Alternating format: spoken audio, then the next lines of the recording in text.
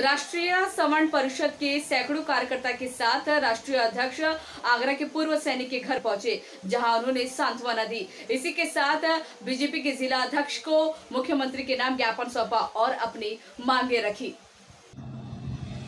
राष्ट्रीय सवर्ण परिषद के सैकड़ों कार्यकर्ता, राष्ट्रीय अध्यक्ष पंडित पंकज धवरैया के नेतृत्व में आगरा पूर्व सैनिक के घर पहुँचे और सांत्वना दी।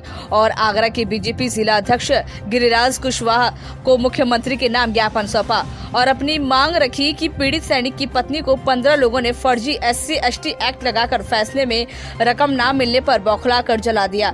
मजिस्ट्रेट के सामने पीड़ित सैनिक की पत्नी ने अंतिम श्वास में अपराधियों का नाम उजागर किया।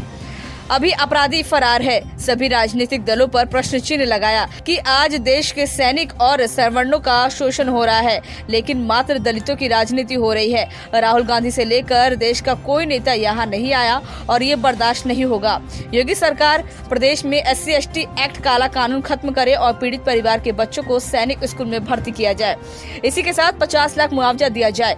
यदि जल्द ये काला कानून खत्म न हुआ और परिवार की मांग पूरी नहीं हुई तो सवर्ण समाज एस सी एक्ट के विरोध में पूर्व की तरह भारत बंद और भारत व्यापी आंदोलन होगा जिसकी जिम्मेदार स्वयं सरकार की होगी।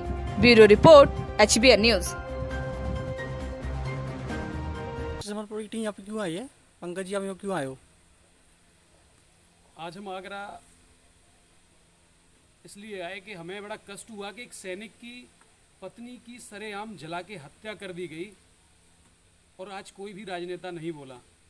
हम सरकार से मांग करते हैं कि इनकी पत्नी तो वापस आप नहीं कर पाएँगे पर लेकिन इन, इनके बच्चों को आर्मी स्कूल में भेजा जाए सैनिक स्कूल में भेजा जाए और इनके परिवार को 50 लाख रुपया मुआवजा दिया जाए और एस सी एक्ट जैसे गंदे कानून को तुरंत तत्काल खत्म किया जाए। अन्यथा सवर समाज उठकर एक बहुत बड़ा आंदोलन करेगा, जैसे कि हम दो बार पूरे देश में कर चुके हैं। और फिर संभलना मुश्किल हो जाएगा आपके लिए। इसलिए बारंबार निवेदन करते हैं, ऐसे कानून को तुरंत खत्म किया जाए, जो कि हम लोगों में मतभेद और हमें बांटने का प्रयास कर रहा है। धन्यवाद। क्या सच है, क्या झूठ? अब होगा जो सच, वही खबर।